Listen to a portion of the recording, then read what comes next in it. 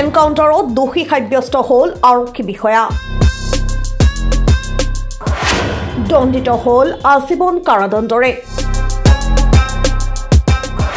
Encounter স্পেচিয়েলিষ্টক যাৱজ্জীৱন কাৰাদণ্ড উচ্চ ন্যায়ালয়ৰ। গোৱা এনকাউণ্টাৰ কৰা আৰক্ষী বিষয়াৰ শেষ ঠিকনা হ'লগৈ কাৰাগাৰৰ অন্ধ কোঠাৰী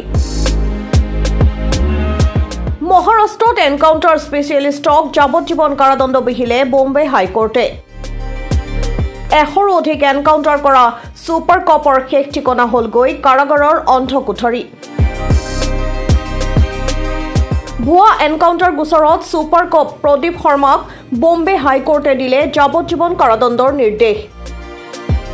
গেংষ্টাৰ শ্ৰোতা ৰাজনৰ ঘনিষ্ঠ ৰাম নাৰায়ণ গুপ্তাক দুহেজাৰ ছয় চনত এনকাউণ্টাৰ কৰিছিল। সেই সময়ৰ মহাৰাষ্ট্ৰ আৰক্ষীৰ ছুপাৰ কপ শৰ্মাই।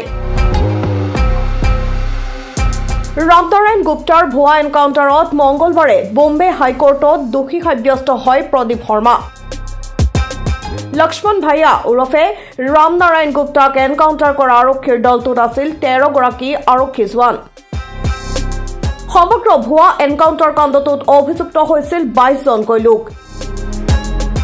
ইয়াৰে একৈশজনক ইতিমধ্যে দোষী সাব্যস্ত কৰিছে আদালতে।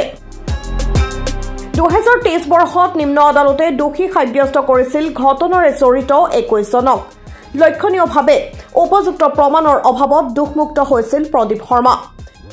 কিন্তু সমগ্ৰ বিষয় পাইছিলগৈ উচ্চ ন্যায়ালয়ৰ মজিয়া। অৱশেষত বম্বে হাইকোৰ্টে দোষী সাব্যস্ত কৰি শাস্তি প্ৰদান কৰে এসময়ৰ এনকাউণ্টাৰ স্পেচিয়েলিষ্ট প্ৰদীপ শৰ্মাক। এটা সময়ত মুম্বাই আণ্ডাৰৱৰ্ল্ডত সন্ত্ৰাসৰ আন এটা নাম আছিল প্ৰদীপ শৰ্মা। চাকৰি জীৱনত এশ তেৰটা কুখ্যাত গেংষ্টাৰ আৰু অপৰাধীক এনকাউণ্টাৰ কৰিছিল ছুপাৰ কপ প্ৰদীপ শৰ্মাই। বহুতৰ বিৰুদ্ধে ভুৱা এনকাউণ্টাৰ কৰাৰো গুৰুতৰ অভিযোগ উত্থাপন হৈছিল প্ৰদীপ শৰ্মাৰ বিৰুদ্ধে। ইয়াৰ লগতে একাংশ দুৰ্নীতিৰ গোচৰতো অভিযুক্ত আছিল ছুপাৰ কপ প্ৰদীপ শৰ্মা। শেহতীয়াকৈ দেশৰ একাংশ ৰাজ্যত সঘনে সংঘটিত হৈছে এনকাউণ্টাৰৰ ঘটনা। বহুতকে আৰক্ষীয়ে ভুৱা এনকাউণ্টাৰ কৰাৰো অভিযোগ উত্থাপন হৈছে। অভিযুক্তক ন্যায় বহিৰ্ভূতভাৱে ভুৱা এনকাউণ্টাৰত হত্যা কৰাৰো উত্থাপন হৈছে অভিযোগ। তেনে সময়তে ছুপাৰ কপ প্ৰদীপ শৰ্মাক যাৱজ্জীৱন কাৰাদণ্ডক লৈ তুংগত উঠিছে চৰ্চা। News desk report news thirteen